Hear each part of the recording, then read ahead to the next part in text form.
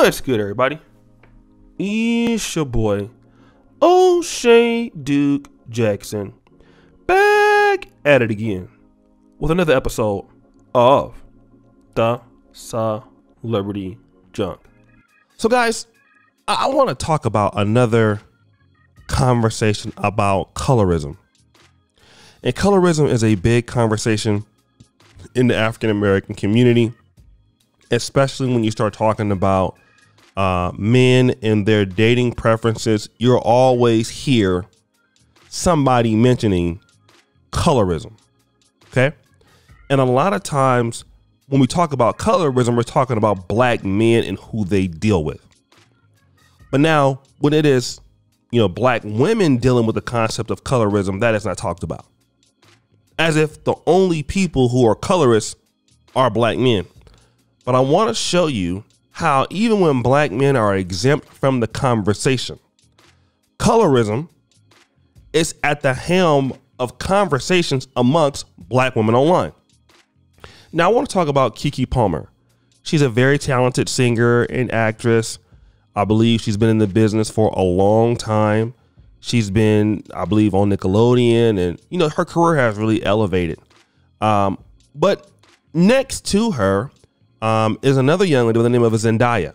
Now, I didn't really know who she was, but obviously Zendaya, in her own right, is an up and coming um, actress. She's uh, she was actually in Spider Man as a leading lady, I believe, or close to that. Um, and I saw Spider Man. I don't remember seeing her, but maybe she was in there. I don't know who these people are. But anyway, she's very popular. Okay. And as it appears, she is on a higher level than Keke Palmer in the entertainment industry. And people believe that the reason has something to do with Zendaya's talent or Zendaya, whatever her name may be. But the fact that Zendaya or Zendaya, however you pronounce her name, she is mixed race. Okay. So she has a higher skin tone. Now, the conversation that was going on about this uh, uh, uh, on social media or online has to do with black women on black Twitter. And really, after, um, you know, she appeared, Keke Palmer appeared on Jordan Peele's thriller, thriller Nope, which opened the top of the box office with $44 million this weekend, people were saying that, hey, she's on the same level as Zendaya. Now, or I could prop her up to that same level. In other words, saying that she is below the Zendaya lady or Zendaya. I want to talk about this because black men were not in this conversation at all. Okay? Black men were not involved in this conversation. These are women making these claims. Because let me tell you this black men could give a damn about Nope, could give a damn about Keke Palmer in her acting career, or Zendaya or Zendaya in her acting career. You're not going to see black men just sitting around talking about this. But now, here's what happened it irritated Keke Palmer so much, she felt compelled to say something. Okay? She said this. A great example of colorism is to believe I can be compared to anyone. I'm the youngest talk show host ever. I'm the first black woman to star in her own show on Nickelodeon and the youngest and the first black Cinderella on Broadway. I'm an incomparable talent. Baby, this is Keke Palmer. Let's pause that. Oh my God. Look at the insecurity of Keke Palmer. I mean, she looks and sounds so immature. Okay? So immature. So threatened by this, uh, this young lady Zendaya. How more threatened can you be to go on a self aggrandizing rant? So now you also believe that colorism is the issue. Okay, fine. It's it's interesting to talk about colorism, right? Because these same people who cry about colorism are in the same photos kissing white men, dating white men, defending their right to date white men. Now, and if you have a mulatto baby, what is that? It is colorism, right? It's crazy. It, it, it's colorism when it fits you. But now, This is you don't even see Zendaya even responding to her because who is Keke Palmer for her to respond to? Keke Palmer has the problem. Listen, you just got a great movie. Why would you even respond to her? If you feel that your talent is great, why do that? Because she feels that the Zendaya lady is uh, Zendaya, whoever her name is, is is better looking than her. She feels threatened by her.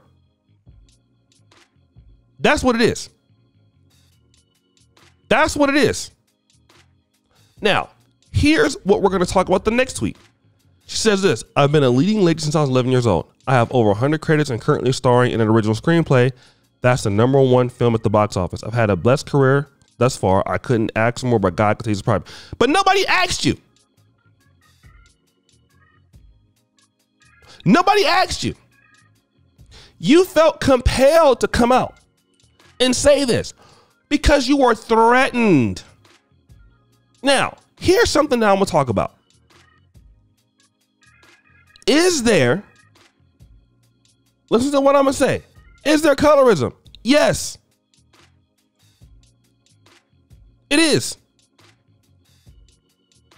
But now, guess what? If you're good, it don't matter. Okay?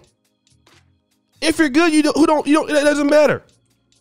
Do you see Lupita Nyong'o talking about all her accomplishments? No. Because she's good at what she does. All right? People are going to stir that up. And the women who are stirring it up are her fans. Like if you look at the responses, one day y'all going to stop putting black women against each other. Miss Brundridge. I hate when y'all do this. Like, damn, enjoy Keke without bringing up Zendaya and vice versa. They are both shining bright right now. Kiki been that girl and everyone loves her. Now let somebody celebrate her without mentioning someone else. These are all black women talking about this.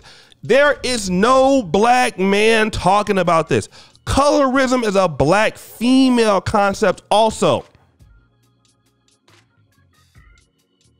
We're not gonna talk about the fact that y'all like light skinned men. And when y'all have children that are light skinned, that y'all praise those kids too. Y'all don't want black men dating uh, light skinned women, but you don't mind making them. Okay? Is that right? Hmm? Y'all don't want to talk about that. Is it because Zendaya's father is African American and her mom is German? I notice colorism is different when the mother is black. Colorism is more acceptable then, right? Like, stop being so fucking insecure. If you're good, you are good.